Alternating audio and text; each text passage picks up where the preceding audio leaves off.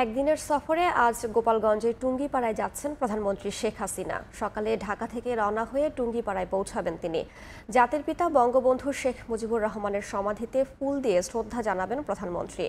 ফাতেহা পাঠ ও বিশেষ মোনাজাতে অংশ নেবেন। পরে আমার বাড়ি, আমার খামার কর্মসূচির আওতায় দাঁড়িয়ার কুল সমবায় সমিতির সদস্যদের মধ্যে ব্যক্তিগত তহবিল থেকে কৃষি উপকরণ ও নগদ সহায়তা দেবেন প্রধানমন্ত্রী।